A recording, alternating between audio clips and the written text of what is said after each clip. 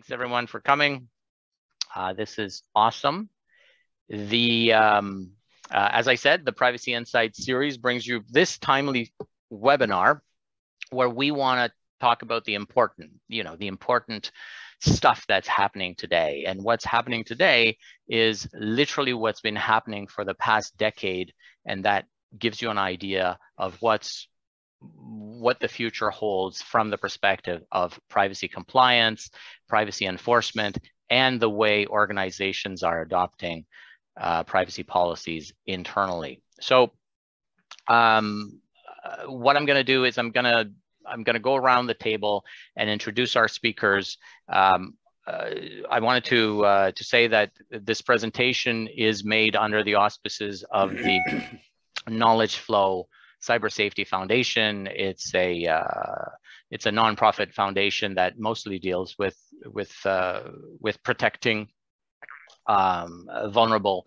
sectors like children and, and seniors and so on from from different types of cyber threats. So um, insofar as this is the hosting organization, I'll be moderating this panel today.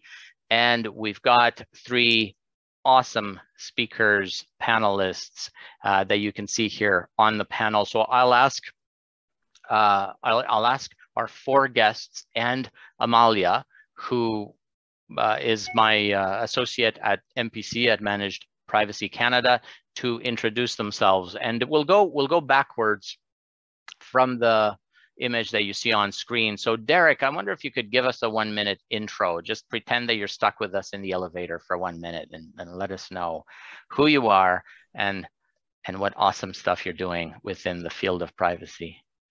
Thank you, Claudio. Uh, my name is Derek Lackey and I'm uh, two roles. I'm the managing director of Newport Thomson, and we help uh, organizations implement privacy management programs. Uh, but I'm also the chairman of the Response Marketing Association. And I, um, I entered the privacy world from marketing. So my entire background is marketing. I owned my own ad agency in the 90s and I've lived my entire life in the marketing community. So I come at privacy from a marketing point of view and I'm, I'm really more interested in what do I need to do as a marketer than I am uh, arguing the legal nuances. Um, and I realize that somebody has to argue the legal nuances, but that's not me. So I'm far more interested in the implementation of new practices in an organization that makes you compliant. Excellent. Thank you, Derek. And, and for those who don't know Derek, he's also got very deep domain experience within CASL and lots of interest within uh, Canada's anti-spam law. Um, Constantine, so, hi everyone. Um, I am um, been in privacy for a number of years now in a number of different roles. I am counsel at nNovation, uh, which is a boutique privacy law firm based in Ottawa and Toronto. Um, prior to that, I have been uh, consulting at a couple of different organizations. I have been a chief privacy officer in two multinationals um, and I've been doing privacy for about 19 years, um, dealing with multinational privacy issues as well as Canadian. Um, and so my um, engagement or involvement with clients is helping them to build privacy programs. I worry about the legal nuances. Um, and also dealing with all of the other stuff, which could be, you know, dealing with incidents, helping to support, you know, doing privacy impact assessments, but a big part of what I'm doing lately, and it'll color the comments I make later, is around supporting uh, contract with uh, you know, clients um, now having to deal with privacy obligations expressed by a contract. Excellent. And and I think the, the key word there is nuances. So Constantine certainly has the depth that uh, that we seek on this panel. And and in the interest of full disclosure, Constantine and Amalia have been my colleagues as we've uh, we've lectured on privacy uh, at the University of Toronto. Uh, but um, a great friend of ours is Vance. Vance, would you mind giving us uh, an elevator intro? Speech. Sure. So I'm Vance Lockton. Um, I'm currently a senior technology and policy analyst for the Information and Privacy Commissioner of Ontario. Um, I'm not representing them today. I'm just kind of, as Claudio was saying, just kind of having a lunch hour chat with some folks. Right. Um, uh, for that, I, so I, I, spent a good amount of time with the, the Federal Privacy Commissioner's Office as well. Um, I was with Waterfront Toronto trying to sort out a digital governance framework for their proposed project with um, with Sidewalk Labs a couple of years ago, um, and yeah, I've done some consulting and contract work here and there. I, I held the pen on the the Federal Privacy Commissioner's uh, response to C11, that 70 page nightmare that may or may not have killed C11. Um, but yeah, that's that's me. Awesome. Thank you, Vance. Um, again, uh, my connection with Vance goes back uh, probably well over a decade. We we started at the IPC. We we started at the provincial level, followed him to the federal level. We're back to the provincial level. So um, uh, yeah, it's uh, it's good to keep in touch. And uh, certainly Amalia, uh, who is my partner in Managed Privacy Canada only because we have so many ideas for doing great things within privacy that we thought this is the best way for us together to work together. And Amalia has a lot to say, but just give us that elevator uh, intro about yourself, Amalia, please. Sure. Just very quickly, I'm a privacy professional. Um, I also teach courses and I created the privacy uh, management and the digital enterprise certificate with my colleagues, Constantine Claudio and a few other people here. Um, uh, by way of background, I started in IT and then I accumulated uh, audit, risk management, security, all of those interesting things, project management, and so on. And currently at Managed Privacy Canada, we work with clients to establish their privacy programs and assist them with anything new, like such as today's webinar. Um, just a, a, little anecdote here. Uh, I've known Vance in when we were taking our CIPP exam together. Not going to say how long. That's where I met him. And Constantine was my teacher before I took my CIPM. So there you go, small world. It, it certainly is a small industry, and uh, uh, and I certainly enjoy it. I, I I encourage everyone in attendance to look up our great panel and connect with them um, uh, they're they, they're all full of, full of wisdom and information. We'll try to extract some of that for our recorded seminar today, which will go online uh, soon. But I want to give you the the overall idea because we want everyone to to leave today's session with with key uh, key elements, and and you want to have a lunch and learn, um, or at least a learn um, in a in a structured way. The way we structured this is in those three parts. First of all, the state of privacy and how we got here. So generally, uh, a brief discussion on the past decade and what brought us to to this point. What were what were some of those pivotal moments in the past uh, decade. Then we'll talk about the current situation, what companies are doing today to comply with privacy regulations. And then we'll talk about uh, third section that we call a steady state towards a steady state. What will it take for organizations to prepare for the future? And what can they do today from the perspective of adopting um, uh, privacy policies and practices that will make them, if not bulletproof, at least a little bit more resilient in the face of changing legislation. So without further ado, uh, let's let's see if we can go through the uh, over our panel in no particular order. Uh, and describe the most pivotal moments of the past decade, and certainly those that led us to where we are uh, today. So maybe I can pick on on Vance. Um, Vance, what what are some of those pivotal moments uh, of the past few years? Sure. So I'm I'm I, am appreciating that you've given us that decade timeline um, because it just still kind of fits in this um, the the 2012 getting accountability right um, paper that the federal office um, Alberta and, and, BC kind of joint jointly created. So um, I was having a discussion with some folks from the UK um, from the UK ICO the other day, just about another another project entirely, and you know we were discussing what you know what kind of things should be in it, and we got to uh, accountability, and they kind of just threw out this idea that um, oh accountability, that's, I mean you're from Canada, that's the home of accountability. I kind of like it's kind of interesting that that's you know the global perspective here is is that you know that 2012 paper of you know how how to get accountability right with the privacy management uh, program is still so relied upon and so um, uh, so respected even even a you know a solid decade later.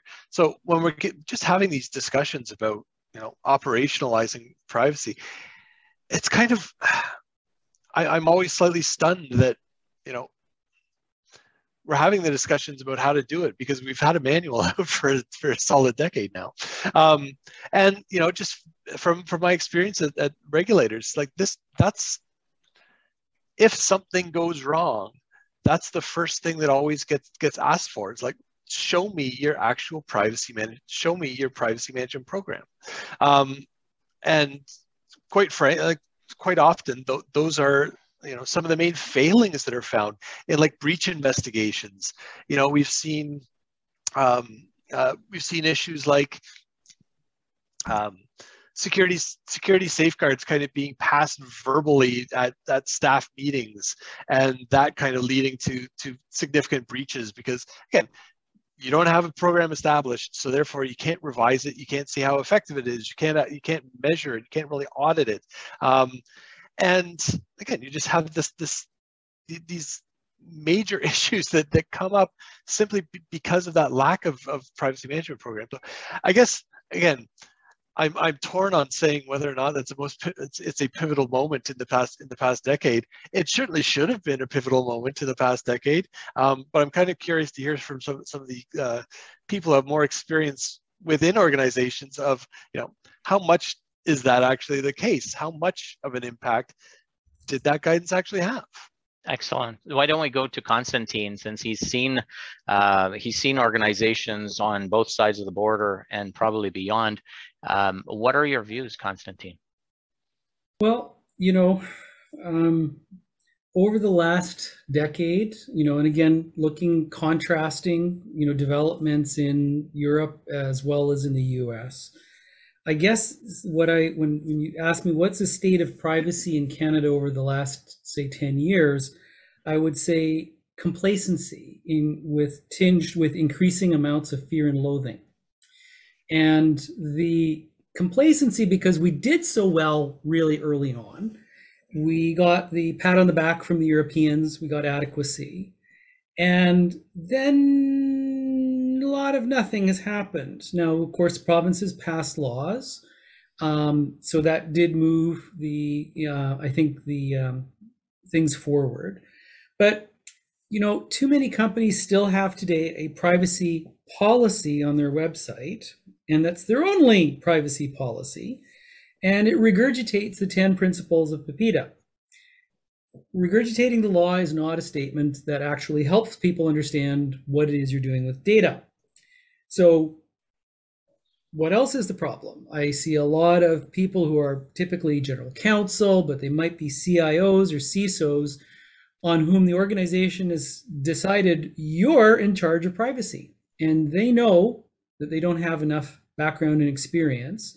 They've been had something, you know, another 10 or 15% added to already a 150% job. And they know that they're not able to deal with um, what's really required. So it's com- com- not complacency so much as just hoping that nothing bad happens, which is to Vance's point about what happens when you finally start getting attention. And that's, you know, sort of like always been whenever you have an incident, you know, bad news, you've had a breach. Good news, you've had a breach because now you're going to actually focus on building the program because now you have no choice. But why does it always come to that, right? So I, I do feel that there's still a lot of room for Canadian companies to improve. And I think also the runway for them to actually do that is getting shorter and shorter, which is what's leading to the fear and loathing. and and I'll and and to and to your point, Constantine, um, the, the, going back to the breach, right? Uh, we've had this mandate. There's different provincial legislation in different sectors. They've had the mandate of breach. How many companies we go in, and they go, oh well, security records incidents. Well, yeah. where's your breach log? Where is your data incident breach register? And they don't know what we're talking about. Yes. Yes. Yeah. So what? Sorry. Uh, I was just going to say. So Amalia, since um, since you piped up, uh, you're now on the spot. Uh, tell us about those those pivotal moments. Well, I mean, th- to me, that was, um, you know, to to Vance's point, we had a manual for ten years, um, and I'm not sure if if it was written with invisible ink or where the company is at for that. But to, Constantine was saying, uh, p- people post a privacy notice um, that is um, oftentimes incomplete or um, let gives you kind of Uh, pause to to realize the the kinds of gaps that this company might have, and they they publicly put it on the website. So you realize from that one statement of trust that they put online that they have so many gaps in that one statement that you don't even want to imagine what's happening inside the company. A, a dead giveaway, Amalia, is when they've copied mine and forgotten to actually remove. yes, yeah, that's that's that. They didn't even get, uh, give you uh, uh the, the uh, no royalties, no royalties, royalties or some sort of acknowledgement, uh, duly copied from Constantine. It counts as attribution when you don't bother to do a replace all. Right? I mean, take it as a compliment. Yes, yes. Uh, May not be terribly impressive to anybody coming across it. But and just just really quickly on this privacy notice, because there's been a very interesting conversation on LinkedIn yesterday that people are like, "Well, it's a privacy policy, it's a privacy notice, it's a duck, it's a, it's it's a privacy online notice, and it, it is a promise that you make to your customers." of how the state of your affairs inside your privacy program if that promise is poorly written and lopsided, um, th- that there's no better impression than the first impression. But that promise you have on the privacy online notice has to be mirrored inside the company with a privacy program, hence our getting accountability right paper. And maybe I'll let Derek uh, talk a little bit more about that. um, Thank you. In, in terms of pivotal moments, uh, I I have to say the uh, Cambridge Analytica uh, really woke the public up, and I think uh, that while we've had this manual, uh, you so aptly point to Vance, uh, I believe that without the motivation so either enforcement or consumer pressure is what it's going to take for companies to actually take action because companies have so many priorities uh, going on at any given time. Adding a, a major one like privacy uh, without a damn good reason uh, is difficult. Uh, so I believe Cambridge Analytica started to wake the, the public up to what is be actually being done with their data. And I, I think it, it really cracked a whole um, it, it changed privacy, in my opinion, around the world. Uh, and then obviously GDPR coming in uh, has made a significant impact. Uh, you know, the, you can argue the good and the bad of it, but um, but it's it's a law designed to protect people's data, and I think um, I think uh, our first effort with Bill C11, as Vance aptly pointed out, with his 60 recommendations uh, for change, um, it, it, it, they called it a balanced approach, but that thumb was heavily on the scale in favor of business. Uh, you know, the fact is, uh, our government does not want uh, to cause any inconvenience to business. And what what we're not realizing is uh, we should not have been doing this in the first place. So the changing of the practices, yes, it's inconvenient for businesses, but it's it's a long overdue cleanup and um, I believe what's going to make the difference uh, this year is Bill 64 uh, will be enforced. And I believe that that is going to wake an awful lot of companies up and get them in action uh, regarding privacy management programs. Excellent. And, and setting the tone, right, Derek? Because Yeah. they're setting such a high bar. Yes. Yes, it's uh, it, it's it's actually tougher. You know, I've I've had this conversation several times with both clients and on webinars. It's actually tougher than the GDPR in some aspects. Mhm. For example, um, on the on the consent front, uh, with GDPR, most business in the EU is done under legitimate interests. And you know, one of the things I noticed is that Quebec left that off. So the only ch- two choices you have are contractual or Mhm. consent.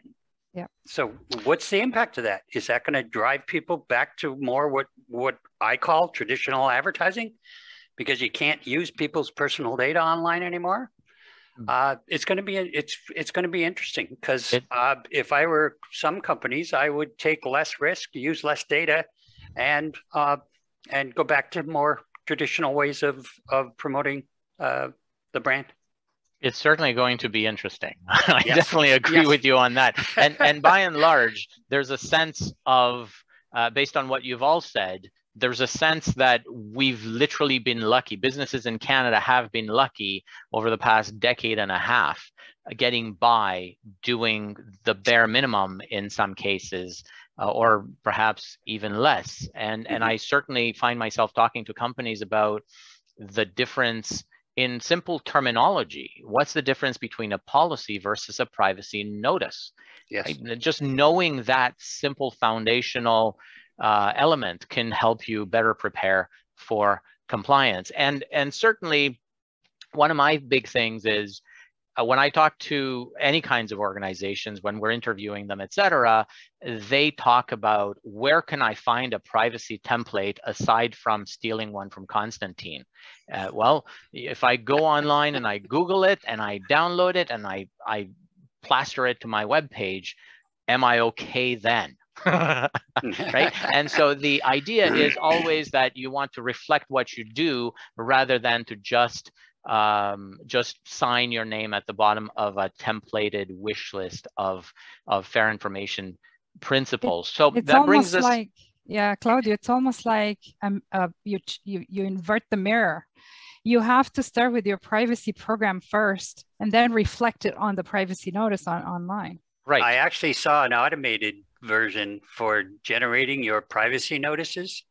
Uh, Yep. Or your uh, your, your Automatic public- yeah, Policy and, generator. Yeah. and it's and it's measured against the laws rather than against the program you have in place. So they they their promise to their customers are when the law changes, we'll change your privacy notice. And you're And all good.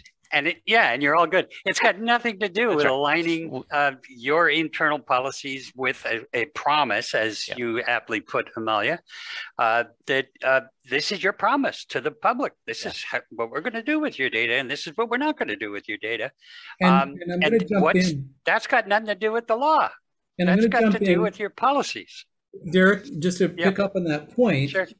Recent action by the Competition Bureau, which exerted for the first time ever FTC-style jurisdiction in Canada, that held, you know, um, a company to account for not complying with its own privacy notice. Now that is, in my view, significant because you know the notice is a contract, as Amalia said, with the world, and it's the easiest thing for a regulator to actually look at because you put it out there. And I will say, as a lawyer, I caution people in general whenever somebody asks me for a template, whatever area of law it was, I'm go no, because I don't know what damage you're going to do with it, because you don't know how to use it properly. And I would say the same is probably true with a lot of privacy programs, which start with here, let's buy a bunch of documents, or let's steal them from some other company, and then we'll just you know do a search and replace. Eh, kind of dangerous. You know, I've come across companies that have said we are doing this with your data, and they actually, in, in you know, in, uh, in created or incurred greater responsibility, liability than because they, they weren't actually doing most of that stuff, but they'd copied it. They were a, a processor service provider, and they'd copied it from somebody who actually is acting as a controller or principal, and it was all sorts of stuff they just didn't do. Yeah. So you know, again, you know, there's a little bit. Well, a little bit of you know ignorance is really dangerous.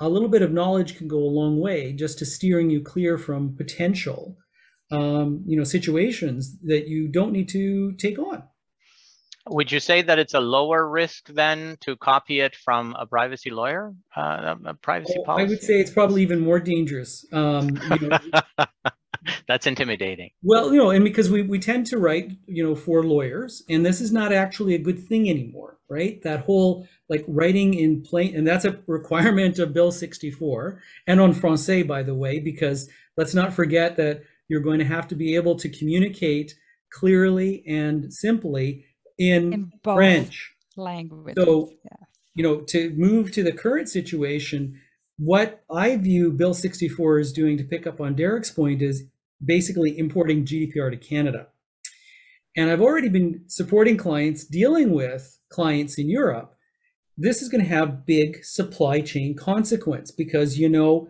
it all feeds down through um, the supply chain through your business to business relationships um, and i don't think canadian companies again have you know maybe they they're like I go back to the fear and loathing thing. They don't want to look at it so they're just not thinking about it yet. But you've got a, a increasingly short runway like i said before to get yourself ready for some of the things that you're actually going to be required by your business partners to do. So Yeah, uh, one one of the things I think we kind of need to establish is that uh, the, the perception that uh, because this is a Quebec law, that you have to have offices in Quebec in order for this law to apply. And I, I, I think that what people have to understand is that 22.5% of the population in Canada is based in Quebec. And the, so the chances are, if you're if you're holding a national database of any kind, chances are 20 to 25 percent of your list is Quebec citizens. Therefore, Bill 64 applies. And if you have any And I think I think that point, I think that point really needs to be underlined. This is a law that's going to change the privacy landscape in Canada, not just Quebec. And if your business customers have the same sort of proportions, if you're again a service provider doing any kind of services, you know, as a processor, as we like to say, you're going to have that passed down to you. So uh, it's it's inevitable you're going to be having to contend with these issues at a certain point.